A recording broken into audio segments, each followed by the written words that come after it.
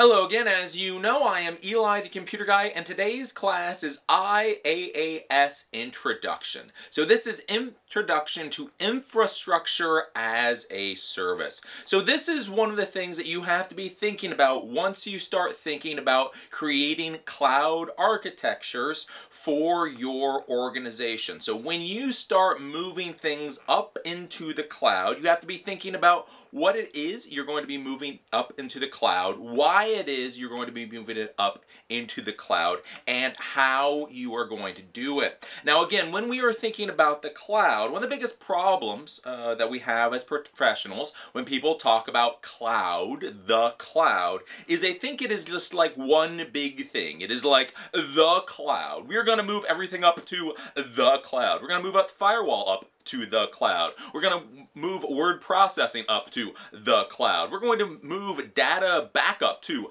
the cloud. We, they just talk about the cloud. A lot of people don't actually dissect all the different components of the cloud so that it's easier to understand what is going on and it is easier to actually start doing migrations. So before, I did a class on software as a service. So software as a service is where you move your software up into the cloud. So no longer is software actually installed onto your computer or your tablet or your mobile device. The software is actually up in the cloud and you just simply access it through something like a web browser or a thin client. Instead of the software being installed directly onto your computer, it is up on a server somewhere and you simply access it. So when we start talking about IaaS, what we are talking talking about is moving your infrastructure to the crowd to the cloud. This is not the same as software as a service. This is not the same as platform as a service. And this is not the same as metal as a service. So all of these are concepts uh, for moving technology up into the cloud, but they revolve around different things. So SaaS, or software as a service, revolves around moving your software up into the cloud. So when we're talking about infrastructure as a service, the first thing that we have to, to really define is what is is infrastructure. So again, whenever we talk about these AAS type concepts as a service, we really have to define what it is we are talking about. So when we're talking about infrastructure as a service, basically what we are doing is we are moving the equipment up into the cloud. The infrastructure. So before we moved the software to the cloud, now we are moving the infrastructure to the cloud. So what do I mean by, by when I say we're moving the infrastructure to the cloud? What this means is we're moving basically the racks of server equipment up into the cloud and letting somebody else deal with their, their basic functioning. So what this means is things like your PBX or your telephone system. So back in the old days, back in 2005, if you wanted a telephone system for your company, you actually had to go out and you had to go to Avaya or Nortel or Switchvox or some company. You had to spend a lot of money to buy a physical telephone system. You then had to install that telephone system into your organization's building and then you had to connect all the telephones. So we're talking about infrastructure. We're talking about that actual physical box that you had to buy. Well now with hosted voice over IP solutions, you no longer have to buy that piece of infrastructure. That can be hosted somewhere else. So instead of having to spend five or ten thousand dollars on a big box that's going to sit there routing telephone calls, you can simply have voice over IP telephones sitting on everybody's desk. Those voice over IP telephones now connect to a service on the cloud. And so that is that is what we're talking about when we're talking about infrastructure as a service. So there's a lot of different things that you can purchase as infrastructure as a service. So one of the things a, a lot of people know about now is that you can rent servers in the cloud. So these are full-fledged servers that you pay your however much money per month and you get access to. You get full control over. So EliTheComputerGuy.com and some of the other projects that I do are run on a dedicated server that I purchased from oneandone.com. I pay $100 a month and I have a Linux server with like uh, 12 gigs of RAM and a quad core processor and a terabyte storage But that all resides wherever their data center is. I buy a contract for that server, but now I no longer have to worry about it physically. I don't have to worry about what to do if the power supply dies. I don't have to worry about what to do if a hard drive fails or the CPU fails or any of that.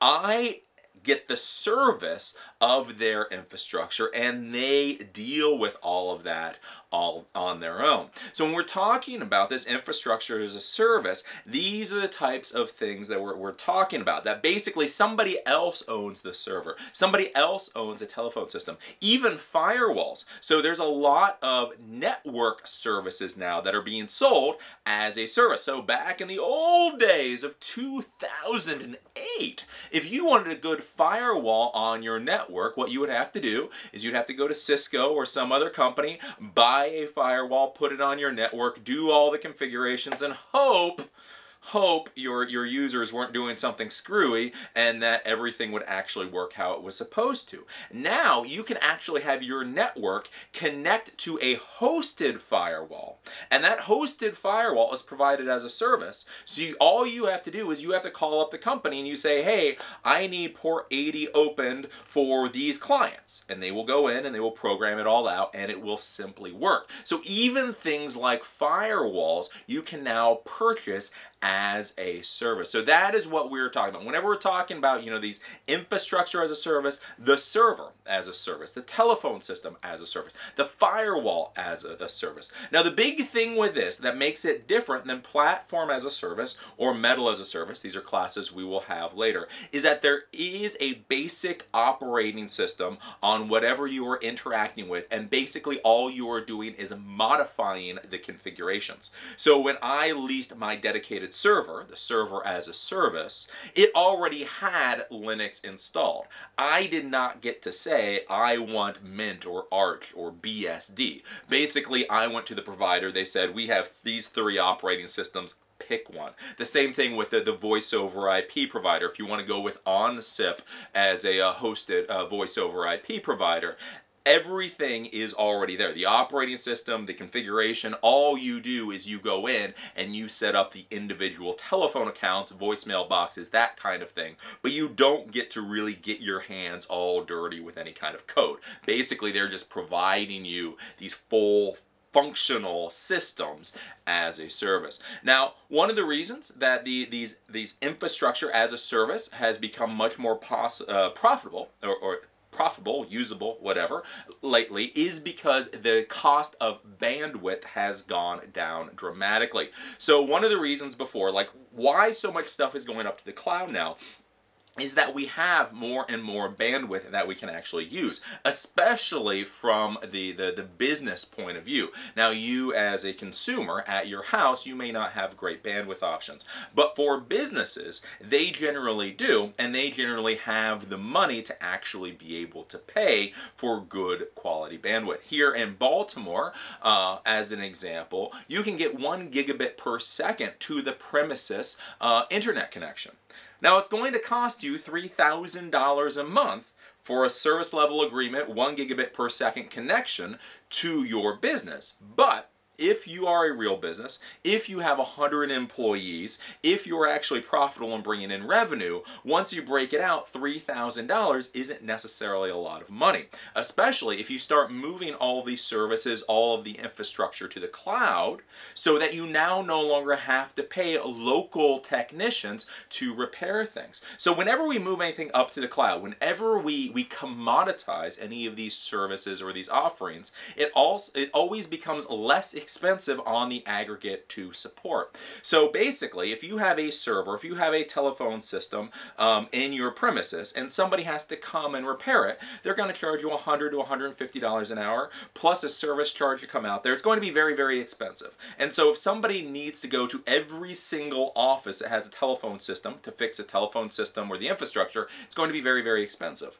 On the other hand, if you if you turn those voice over IP systems, you put them up into the cloud, it now becomes a lot less expensive. You can have one technician and it's administer a thousand or 10,000 of these virtual voice over IP servers, where it would have taken hundreds of technicians to actually run around in the past. So the reason that so much stuff is going up to the cloud now to be used as a service, including this infrastructure, is because the bandwidth has become so affordable. Again, a lot of you guys, you know, if you're in high school, if you're in college, when I say a gigabit per second connection is going to cost you $3,000, you're like, oh, but believe me, that's actually very, very, very, very, very, very, very inexpensive. And for many businesses, it's well worth it, especially if they can migrate so many of these solutions out of their server rooms and up to a provider um, that will actually be able to do uh, whatever it is they need to do. Now, one of the things that you need to be thinking about professionally is that these things such as infrastructure as a service are the things that are most dangerous to you as a technician. Again, as we move more and more things to the cloud, as we commoditize more and more of these systems, pe they, people simply need fewer administrators to be able to work with them. So even as more and more people have been using computers, even as companies have been growing, many companies have actually been able to shrink their help desk staffs, shrink their technical support staffs because they don't need as many technicians anymore. And as we move this stuff up to the cloud, that is going to be one of the things that you have to keep in mind. So professionally, one of the things I always talk to you guys about, it's this is one of the reasons why it's good to be thinking about things like project management, things to think about like consulting. So advising people uh, how to move their products and services up to the cloud. At the end of the day, most likely will provide far much more money than simply learning how to administer systems and then watching your job go as it disappears so those are some of the things to be thinking about. Again, we're going to be doing some more classes on these AAS as a service uh, type concepts. We did the software as a service. This is infrastructure as a service. So again, infrastructure as a service. Think about taking those server racks and putting them up into the cloud. Think about telling, taking the telephone PBX and putting it up into the cloud. Think about taking that digital surveillance system and putting it up into the cloud. So this is the infrastructure. Basically, the infrastructure is now up in the cloud. You simply have little little clients of some sort, either client computers or client cameras or client telephones that then connect up to this infrastructure is a big thing. It is a great thing if you are um, responsible for making decisions for your organization. This is a way you can save a lot of money and actually get some pretty good quality results out of it. So it's something uh, that you should think about. But again, this is different than platform as a service or metal as a service, and we will talk about those in other classes. So, as you know, I am Eli the Computer Guy. This was Infrastructure as a Service, IaaS Introduction. As always, I enjoy teaching this class and look forward to seeing you at the next one.